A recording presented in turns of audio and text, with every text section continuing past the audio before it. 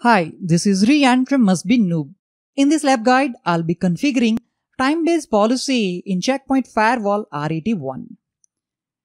Using time object as a condition in firewall rule, you can create such policies which will apply during specific time duration only. Time objects can be defined for specific times or for specific days. The days can further be divided into days of the month or specific days of the week. Let me show you the lab topology which I'm going to use in this lab guide. Uh, already I have configured hide behind the gateway NAT with required access control rules for this LAN segment. All the client computers are connected to the internet and can access the websites anytime. For that, I want to create time-based policy so then they can only access the internet during the specified time duration. Uh, this is the Windows 7 computer which is part of the LAN segment. So first I'm going to check uh, internet connectivity on this Windows 7 computer. First of all, I'm going to click on Internet Explorer and let's access the website google.com. As you can see, this Windows 7 computer can access google.com website without any issue. That proves that this LAN segment is connected with internet.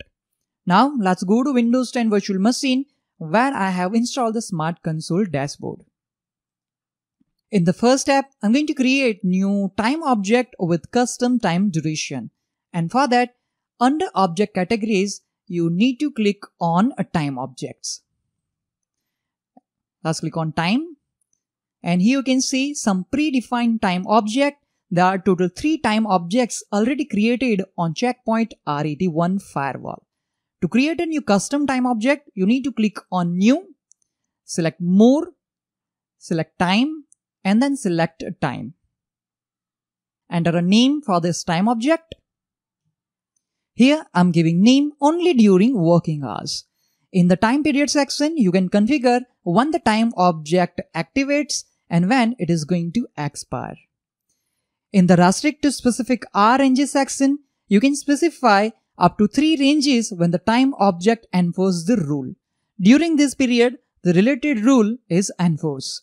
The time specified here refers to the local time on the security gateway.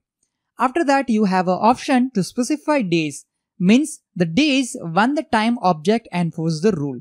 The time object can be enforcing the rule each day, means daily, or days in a week or specific month or all month and that you can select here. Fine. See, you can define the settings as per your requirement. For the testing purpose, I'm going to specify hour range to 9 to 5 from Monday to Friday. So I'm going to select this box and here I'm going to add 9 up to 5. It is going to 17 and here I'm going to select days in a week. That is going to be from Monday, Tuesday, Wednesday, Thursday, and Friday. Fine. Again, I want to remind you that for the testing purpose, I'm going to specify 9 to 5 from Monday to Friday. Now I'm going to click on OK to create this new time object. Okay, here we are receiving one error. The time object name cannot be more than 11 character. Let's click on OK. Perfect. So I have created a one-time object with the name MBN working. Now let's click on policy to create or modify the policy rule. And for that, we need to click on security policies and then we need to click on policy. Already I have created a few access control rules to allow internet access in the internal LAN network. I'll modify the existing policy to apply the policy based on the settings defined in the time object. And for that, uh, I'm not going to specify that time object for DNS traffic, for NTP. I just want to apply that time object for this rule, which is allowing access to websites using HTTP and HTTPS service. Let's right click on uh, track. And here we need to select time so let's select the checkbox and after that we will have a new column with the name time. Fine. Now let's uh, click on this plus sign to add a time object. Here I'm going to select the newly created time object which is MBN working. So let's select it. And if you want to add time object for DNS and NTP traffic as well, uh, that time simply you need to select and drag and drop that time object to other rules as well. Fine.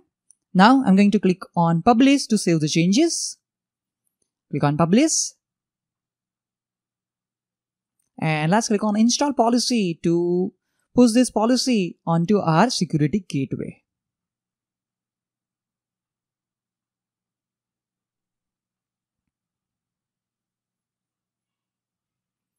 Okay, let's click on details. Fine. Let's click on close. Now let's test the policy by accessing internet on Windows 7 computer again. Uh, first of all, let me show the current time of this Windows 7 virtual machine. Let's click on date and time. And the current time is 8.47 am. Let me close it. And according to the rule, right now this Windows 7 computer cannot access the internet. Let's again try to access the google.com website.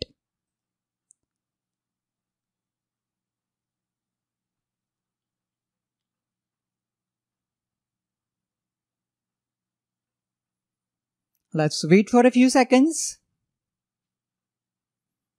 As you can see, right now this Windows 7 computer is not able to access google.com website. Why?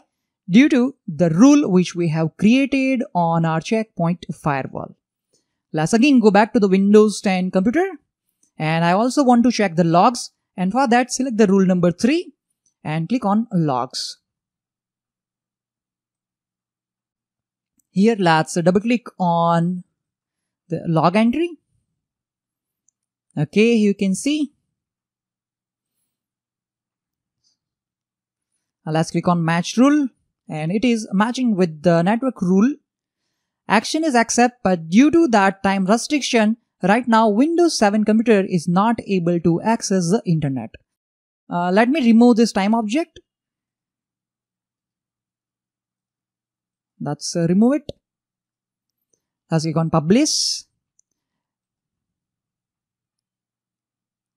Let's click on install policy. Click on install. Click on details. Perfect. Now let's again check internet connectivity on our Windows 7 computer. And this time, this Windows 7 computer can access the website google.com without any issue. That means we have successfully configured time-based policy in Checkpoint Firewall R81. Thank you all for watching. See you all in the next lab guide.